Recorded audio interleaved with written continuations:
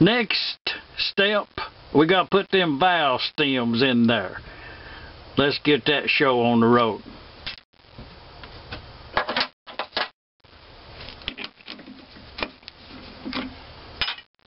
I do have this protrusion on the back right here. I'm sure that was the next question is what am I going to do with that thing? Well, it's actually of no, uh, it won't hurt anything to leave it like it is and put a uh, countersink in the end of it, but it's actually a little bit too long. So what I'm going to do is turn all of them around and put them way in yonder where they'll bottom out on that right there. Uh, chuck them up in there, and then let's, uh, this is cast iron there we're working with. So let's, uh, I'm going to run a drill bit up in there. And, and, and I'm going to, as I, as I countersink it, we're going to, uh, we, we're going to put a, I'll show you. Okay, dokie. You see that? Put that up there like that. Put that up there like that. Turn that on like that right there. And we're going to mill away the length as we end up with a countersink in there too. And I can see down in the, I can see that. I only wanted about a sixteenth of an inch, which is which is about what that is. This is actually not a very time-consuming project once you get started with it. Let's, uh, I'll show you something. The, uh, we got a little, we got a little, uh, what's this? Little, a little curled over burr right there. You know, you don't want no curled over burr on your, on your thing right there. Okay, y'all see that? It's got that it's got that taper in there and it's about a sixteenth of a long and that valve will stick out there about a sixteenth of an inch and then that will be braided over and fill that little pocket up right there. Oh yeah. Let's do another. Y'all remember now when you working around this high speed machinery and even even right now when you taking these out and putting them in there you want to index the part back into the chuck jaw where it was at so that it will be true and lined up. And that's got a little taper that's got a little pocket seat right in there and that makes that fit really really good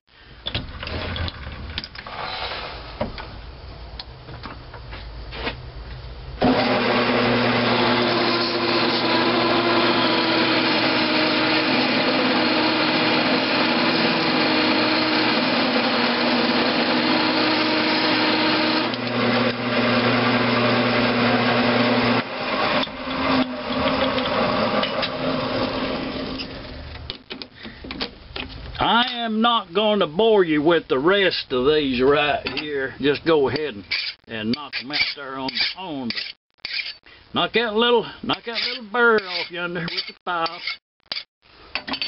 Okay, we got another valve done. Valve stem material. I've uh, rummaging in the box over there, and I have I have used this right here with great success. It's at 1144 steel. Oh, that's some good stuff right there.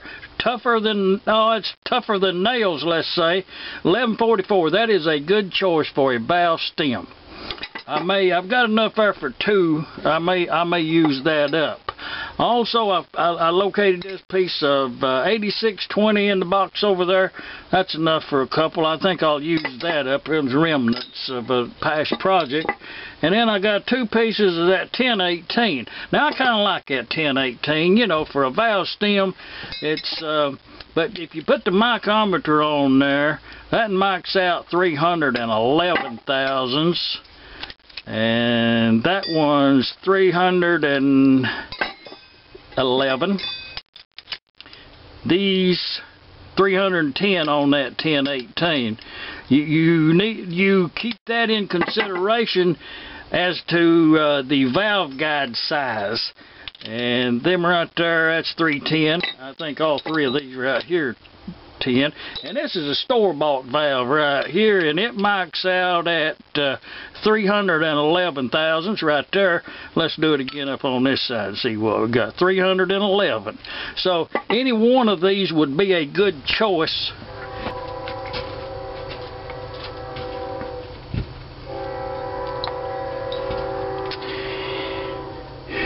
the hole that I drilled into the valve head itself with this quarter inch drill bit and that drill bit marks out at 249 thousandths. You don't have any markings on it. It was a good drill bit. It's a, a professional type drill bit.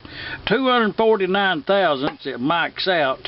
So if you take one of these valves, put it on there, it's a loose fit so I'm going to assume that's a good thousandths of an inch. So it's it's it's 250 thousandths, let's say. So that gives us the good quarter inch hole.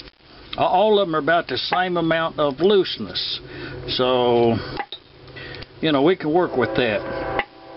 The uh, and the next step is to turn the valve stem itself down a length backwards enough to where that that will go on on this will press onto there bottom out on this surface here on the little shoulder we're going to produce there. And then it will stick out on this end up here about a sixteenth of an inch or a little more you know like something about like that to give us something to paint over It'll be a press fit and then peened on the end. No no silver solder, no welding. And I will make a note which engines has these valves in there. And, and you know, a year from now I can look back and uh, see if it was a good idea. So let's let's get on with this, uh, with turning these down. I'll cut two more there. And then we have to thread, cut the length, uh, cut the length, thread, the intake and then we'll uh, cut the length and drill a hole for the for the pin and the keeper on the exhaust. That's the project at hand. So let's uh, let's gear up here and turn these down.